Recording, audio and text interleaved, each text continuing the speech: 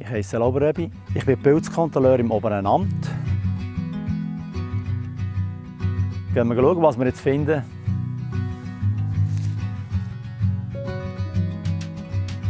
Da haben wir sehr, sehr junge Trompetenpfifferlinge, genannt auch Durchbordninger Leistling. Typische Herbstschwimmen, die sehr, sehr gut sind. Man kann sie teeren, man kann sie in ein Risotto machen, man kann sie gut eingefrieren. ist fast für alles ist verwendbar. Vor mir habe ich hier einen Stoppelpilz. Und zwar heisst der Habichtspilz. Man sieht das wunderbar. Die schönen grossen Stoppel, die er hat. Und der Hut, Hut ist so dachziegelige Schuppen drauf. Ist sehr ein guter Speisepilz, aber nur als Gewürzpilz oder im Essig. Wir haben einmal den Fichtenreizker und wir haben den Lachsreizker. Der Fichtenreizker hat immer etwas Grünes am Hut und nachher der Lachsreizker hat am Stamm Lachströpfchen dran. Und ist viel der rötere Pilz. Sie sind beide essbar, sind aber beides Bratpilz. Ohne Stamm, nur den Hut umbräteln. Und schön Sorge haben dazu, an jedem, allen Orten, wo man anlenkt, wird er nachher sehr schnell wüst. Und was typisch auszeichnet, die beiden machen das, die haben rote Milch. Vor uns haben wir einen rotstirrigen Ledertäubling. Ist sehr ein Kechenpilz, ein fester Pilz. Ist ein guter Speisepilz, eignet sich sehr gut zum Teeren. Wieso ist es das? Der rotstirrige Ledertäubling hat immer etwas Grünes am Hut, so ein grüne Schimmer. Und der Still ist rot anlaufend und die Lamellen aussplittern bei dem und sind cremefarben. Der Frauentäubling hat immer etwas Grünes am Hut und die Farbe kann sein bis violett.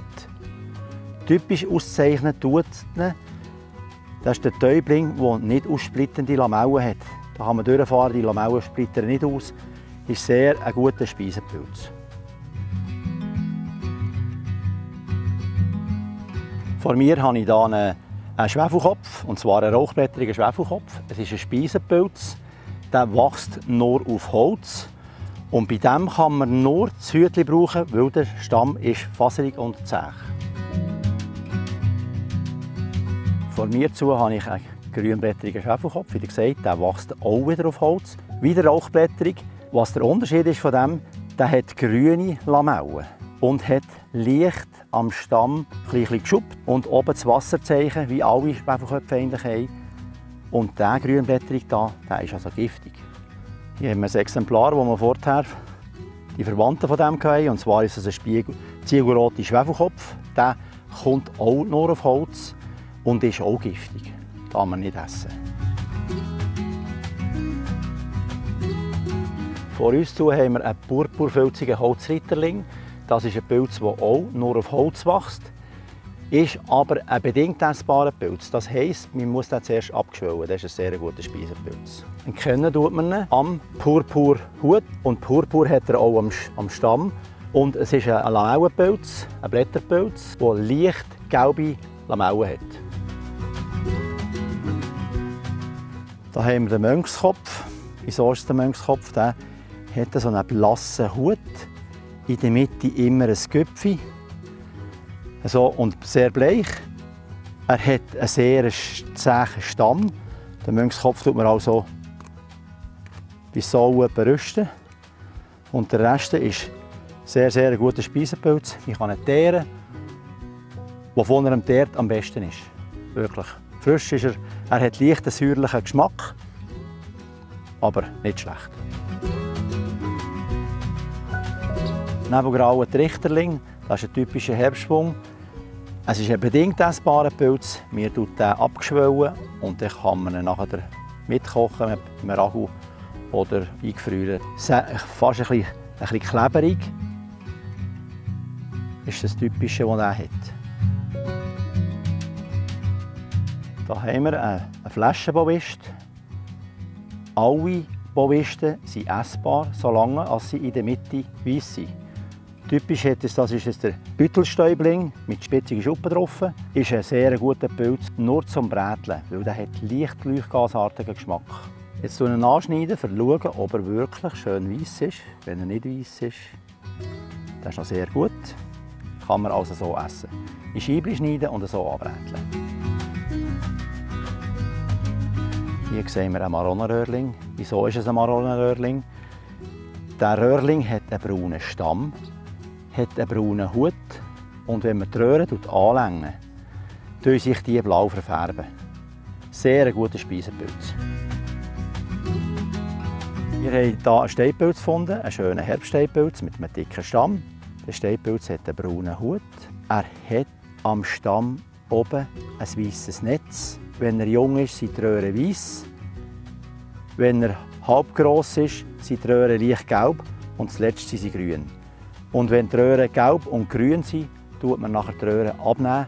Aber so tut man eigentlich alles dran lassen, kann man alles so essen. Ein brauner Hut, rote Röhren, rote Flocken am Stamm.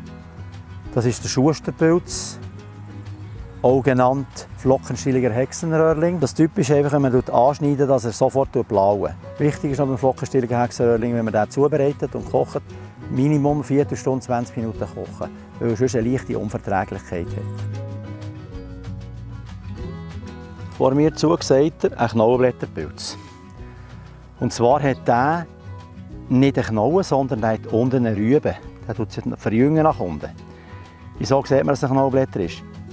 Der Knollenblätter hat immer Velumreste am Hut. Das ist schon abgeregnet. Und darunter kommt die rote Farbe. Und alle Fraßstellen vom Stamm, wo es Würmer drin ist oder wo man verletzen tut nachher rot anlaufen. Das Wichtigste ist, der muss ein Manschettchen haben, das gereift ist. Es ist sehr ein guter Speisepilz. Der graue Wulstling, der hat nie, tut nie röten. Hut, Hut, alles bleibt weiß, wenn man die abziehen. Wie man hier sieht. Der graue Wulstling, der hat einen Herdöpfelsack-Rübengeschmack, richtig äh, äh, schlechten Geschmack. Und den tut man nicht mehr essen mehr, wegen Verwechslungspaar mit dem Panther. Vor uns zu haben wir einen Pantherpilz, das heisst ungereifte Manschette, also so ungereiftes Manschettige, kräftige Stielbasis, eingepfropft in eine Knolle. Der Pilz kommt zu einer Knolle aus. Was typisch ist, die weißen Velumreste, da sieht man genau, dass das eine Amanita-Art ist, sehr, sehr giftig. Grauer Scheidenstreifling, wieso? Der hat eine lappige Scheide, wie man sagt. Es ist also ein Knollenblätter, aber ist auch wieder einer von den die man essen darf. Der Hutrand ist richtig, hat richtige Streifen dran. Sehr, sehr ein gebrechliches, zartes Pilzchen. Sehr gut zum Essen. Da haben wir jetzt äh, ein Knollenblätter wieder. Und zwar ist das der Märlipilz, der Fleugenpilz. Man sieht das wunderbar mit diesen schönen weißen Pünktchen oben drauf die alle Knollenblätter haben, ist giftig. Das heisst, der hat das Gift, das Muscarin. Das gibt Seh- und Gehstörungen, wenn man den essen. Darum isst man den nicht. Wieso sehe ich, dass das ein Champignon ist? Alle Champignons, wenn sie jung sind, haben sie schon leicht rosa Lamellen. Im Alter werden sie schokoladenbraun bis schwarz. Das heisst also, wenn ihr einen weißen Pilz findet, der weiße Lamellen hat, ist es sehr, sehr gefährlich. Das sind wir bei den Knollenblättern. Und Champignons haben rosa Lamellen, eben wie Schokolade bis schwarz, Schokoladenbraun bis schwarz und ist sehr, sehr ein guter Speisepilz. Und der heisst, der schiefknollige Anise Champignon, wie er, wie er sich da darstellt, so wächst er.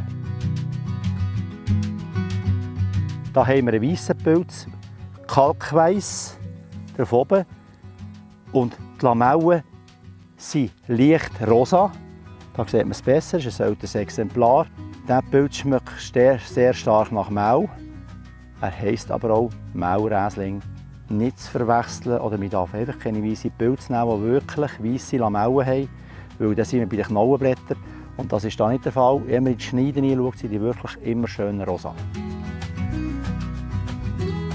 Zu den Lamellenpilzen ist folgendes zu sagen. Alle zimtroschfarbene braune Lamellenpilze, Die Farbpaletten von braun bis blutrot sind sehr gefährlich und sind keine Speisepilze, sind zum Teil sehr giftig.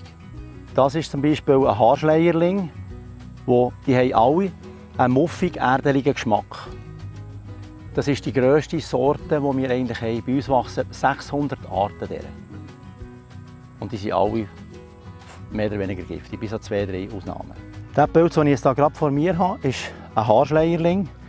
Man sieht das wunderbar. Er hat ein Haargeflecht ringsum, vom Hut angewachsen, in Stamm. Sie sind alle, eben die grosse Gattung, ist alle eigentlich giftig. Hier haben wir ein Exemplar, das sehr, sehr giftig ist. Und zwar ist das ein stahlblaue Rötling. Man sieht es gut, der hat einen schönen blauen Hut, hat einen blauen Stamm und die Lamellen sind leicht gehen ins Rötliche rein. Sehr, sehr giftig. Vor mir zu habe ich wieder sehr giftigen, und zwar den Seifenritterling. An was als man den kennt, der hat unterteilte Lamellen, wie alle Ritterlinge haben, anastamosiert, aussen kleine Schneiden, innen runde, bogige Lamellen hat immer so einen grünen Ton am, am Hut. Da haben wir einen kleinen Trichterling. Der hat wie ein Trichter einen Hut und ganz feine Lamellen, die durch den Stamm herablaufen sind. Und man muss sagen, alle kleinen Trichterlinge sind richtig giftig. Für haben wir einen Buchenspeitäubling, kirschrote Farbe, sehr, sehr giftig und ist brennend scharf. Da haben wir eine schwefelgelbe Koralle. Früher sind die häufig gegessen worden. Heute tut man sie nicht mehr essen, weil sie stark abführende Wirkung haben. Essen tut man nur noch den Hahnenkamm und der ist violett und der wäre sehr gut. Wenn jemand gar keine Ahnung hat von Pilz, soll er sich durch einen Pilzverein anschließen und dort an die Pilzbestimmungsebene gehen so hat er eine gewisse Vorkenntnis und auch eine gewisse Sorte Pilze, die er weiss, das kann ich nehmen oder eben nicht nehmen.